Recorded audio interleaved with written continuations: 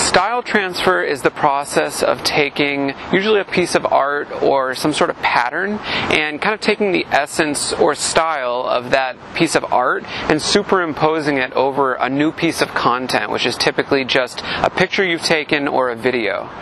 We're going to be using an open source tool uh, that leverages Python and also TensorFlow. So we're going to set up a Docker container for you guys to work out of, and everything's going to be ready for you to begin your development. So we've set you up to do this sort of development by creating a Docker container that houses all our dependencies, but also spins up a Python notebook, which is a really good way, um, kind of a user friendly way to interface with some of these um, machine learning libraries. So, step one is to just run this command here, and all this is going to do is download and pull this image here, which is our style transfer image, but it's also going to boot up the Python notebook server and expose it on a particular port. But really all you need to know is that you need to run this command here. And the assumption is here that you have Docker installed. So I'm just going to open up a fresh terminal here and I'm going to just run this command.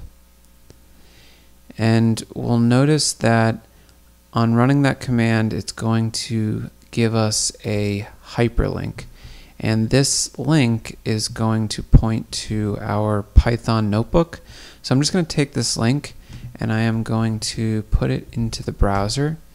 And I can see, okay, this is my Jupyter notebook and it, it is set up for us to do some style transfer. So there's some bo boilerplate files here, um, but if we navigate into Neural Style, TF Master, this is where we can do our style transfer development. So just a couple things to note here. Um, there's some directories. Uh, image input is the directory where, where we're going to put our content images, which are the images that we want to modify, that we want to apply style changes to. Image output is going to be where the program, after applying the style changes, writes the output files. And styles is going to be where we can house the different styles that we want to uh, superimpose onto our images. Now there's a bunch of boilerplate styles that we can leverage, things like Starry Night and so forth. So those are there if you want to use those. But let's come back over to our actual notebook, which is training. And this notebook is where we can actually perform our style transfer. So there's a couple different parts here. This first cell, all it does is pulls the style image that we're going to use and just shows us what it looks like so we can see what we what we expect the style to be. So all this is doing is going into the styles directory and pulling fractal.png and printing it out here so we can see what that looks like and it's kind of this trippy image. This cell goes into our image input directory and prints out an, a picture I took called boston.png. It's my friend's roof deck. And this is going to be the actual content image that we want to modify. This third and fourth cell here is the actual training command. So this one is just if you want to supply more than one style image, but we just want to supply a single style image. So this command uh, invokes the Python runtime on neuralstyle.py with the following arguments. Um, the first argument is the image that we want to modify, that boston.png image right here. The second image is this, I mean, the second argument is the style that we want to invoke on it, which is fractal.png, and that's this over here. So again, content image, style image, and then these are things like the number of iterations that we want it to run for, the name of the output file. Do we want to keep the original colors or have the colors be adopted as well? And then device if we want to run it on a CPU or GPU. I only have a CPU available here. I would encourage you if you have GPU to leverage that. It'll be a lot more performant. And then this just calls the most verbo verbose uh, logging settings so we can see what's going on as it goes. So if we run that command, you can see it pulls this the VGG network um, and then it does the actual training and then it says it's done And then this last cell here just calls the output image. And we called it fractal.png. And this is going to be the actual result of that training. And you can see here the style has changed. Now there wasn't a whole lot of permutations, so it's not um, very dramatic, but you can still see that it pulled in a lot of the style elements there. And then just down here, these are all the additional um, arguments that you can kind of tinker around with as you're playing uh, with this script here.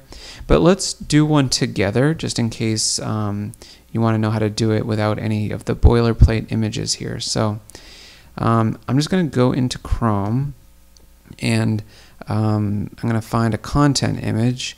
Um, I've been listening to Logic today, so I'm thinking let's use an image of him yeah. as our content image. So let's see here. Maybe this will just be the intro like All right, let's pick this one right here. That's it. So I'm just going to screenshot this.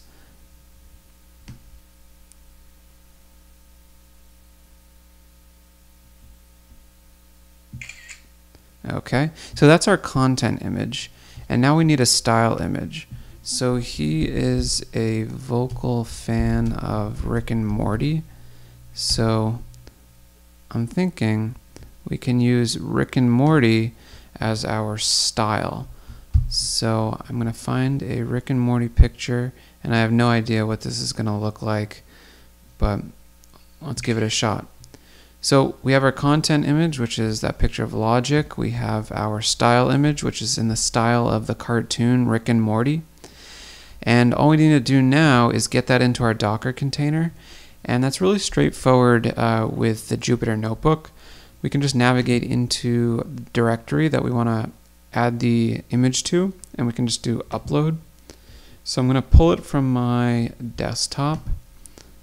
And again, this is the Rick and Morty style, so I'm just going to call it Rick and Morty.png. We should maintain the file extension, or else it won't work. So that should be good. And then we just need to upload our input image.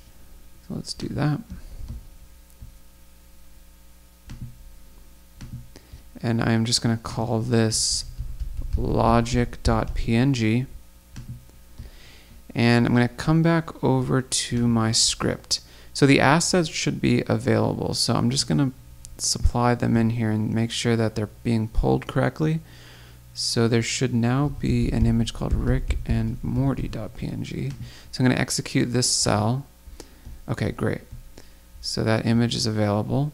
And then there should also be a new content image called logic.png. So I'm going to run this cell.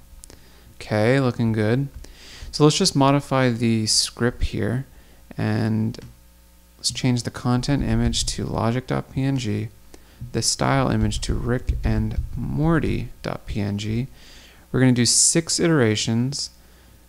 Let's, um, yeah, we'll keep the original. No, let's, because, because the Rick and Morty style has dramatic colors, let's have the colors be adopted as well. So I'm going to remove the argument to keep original colors. So it's going to also in addition to um, pulling like the contour and the style, it's going to pull the colors as well. And I'm going to run it on my CPU. Um, okay, so let's run the training here. So this will take a while. Um, again, uh, six iterations is not a whole lot. You might want to do a hundred. You might want to do a thousand. But depending on the size of the image and the number of iterations, it will take longer to perform. So let's just wait for this here. So there's a couple different parameters that you can fine tune when you're doing style transfers. You can uh, specify whether you want to put more emphasis on the style, which is the, the piece of art or the pattern that you're trying to pull the essence from, or you can put more emphasis on the piece of content, which is the image that you want to superimpose the style onto. And there are a bunch of other parameters that you can fine tune as you go. Okay, so it looks like it's done here. So I printed out done, which is the last line in this cell here. So that looks good. So I'm going to run this cell and it should pull the final result image. So let's take a look. Okay, so this is the final result. So Again, um, six iterations is not a lot, but you can see the color is starting to be pulled in here as well as his face is becoming more and more cartoonish. So you can kind of see it's pulling some of those features in here.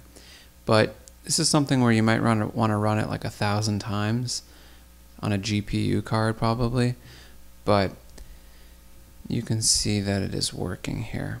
Generally speaking, the more steps or the more iterations that you do, uh, the, the, the better the, the transfer is going to be. But also, um, the size of the image is going to be is going to be um, factored in for the performance. So it's going to take longer if the quality of the image is higher. If you want to um, in, uh, improve the performance of your training, I suggest that you use this max size argument. And what this will do is this will constrain the file size of your image and it dramatically improves training. So for instance, I can pull this here and this this image is probably like 400 by 500 something like that.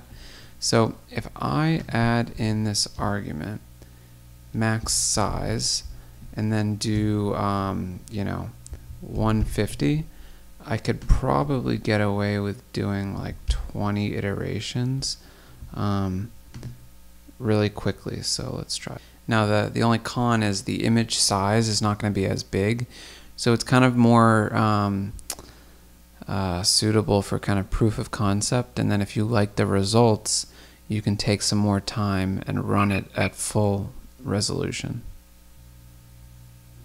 Okay, and it's already done. So you can see it took 53 seconds. Let's try this here. So the image size is smaller, but you can see the style is much, much more dramatic. Um, it's kind of looking scary now, so I wouldn't call that an improvement necessarily. But the point is, you can play around with different images and different styles, and you can come up with some really, really artistic, cool results. So let me know what you guys come up with. Feel free to share. Feel free to reach out to me with any questions. And thank you for listening.